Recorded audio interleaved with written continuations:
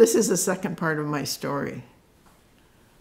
My grandfather sold radios, and so we always had a radio in our home, but nobody else in the village had a radio. And so when the hockey games came on, um, all the young fellows from down in the village would come up to our place, sit around the radio and and listen to the hockey games. And I can remember the night that they had the longest hockey game. That was in 1933. And the hockey game went on until 2 o'clock in the morning. I think it's the longest one on record. And it went on until 2 o'clock in the morning.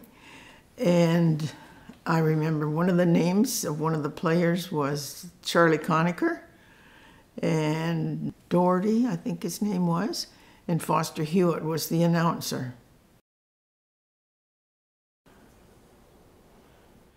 Some of the places I worked in the summers when I lived in Brighton, um, the Canada Rex Spray, it made ant traps, and I worked there one summer. Uh, Cooey's, who made, uh, that was in the 1950s, and they were making all those card table sets. And um, then I worked in some of the grocery stores. There were some funny little things happened in the grocery store. Um, this lady came in one day and she wanted some onions. And I said, there they are over there on the, on the floor. And she picked it up and she said, are these they? And I thought that was the funny sounding sentence, but, or question, but it was proper grammar. Are these they? and I'm quite a stickler for grammar. People would order their groceries. We'd make them up in the store.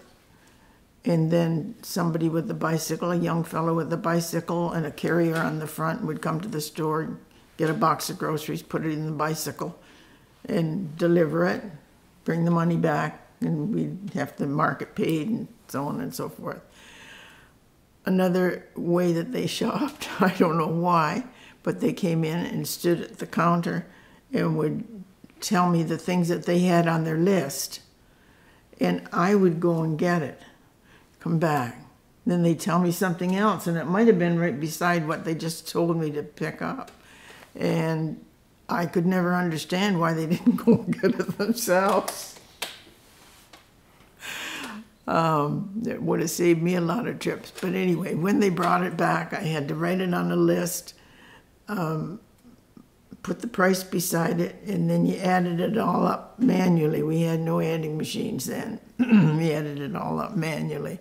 When I worked at the uh, pea viner, um, the pea, the loads of peas used to come past us, and we'd run out and grab a big handful of pea vines, and then we'd go sit someplace and and take off the pods and eat the peas. And I was telling that to my son one day, and he said, Mom, you told us we weren't supposed to steal. That's stealing.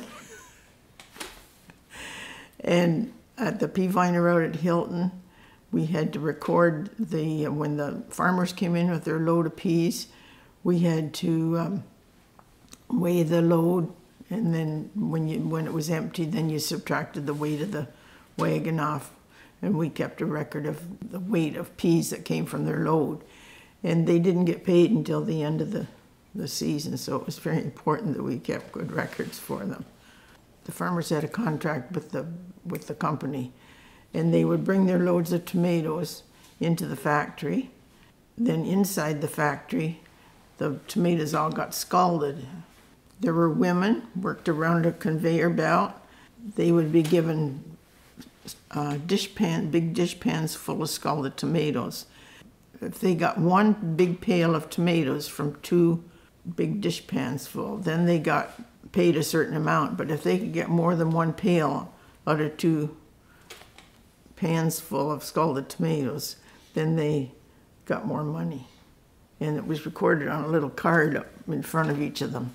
Peeled tomatoes would travel by conveyor belt past the sorting table, and the cans would be filled. And then that was one of my jobs was to send the cans, the empty cans, you took them out of, and turned them onto a conveyor belt, and they were taken down down below and filled with peeled tomatoes. As they were filled with uh, peeled tomatoes, I had to put a little ball of salt in each can as it went past me. and uh, then they'd, they'd go, um, these filled cans would go and be capped and cooked and cooled and stored. And then in the wintertime, when the orders were coming in from different places, they would call in a crew to to label the cans and, and ship them out. And um, those labels were kept in a building in uh, in Brighton, and I think that the Renegade in Brighton is where the labels I think were stored, and um, they were put on each can according to to what company. And some of those labels were done, so we heard, were done by uh, the artists, the group of seven artists. I, I'd like to get hold of some sometime and check it out because they really were beautiful.